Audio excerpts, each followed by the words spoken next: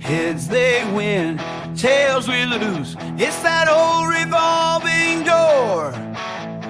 Wall Street wearing government shoes. Politicians barefoot on the floor. We're sick and tired of getting screwed. The people are fighting back.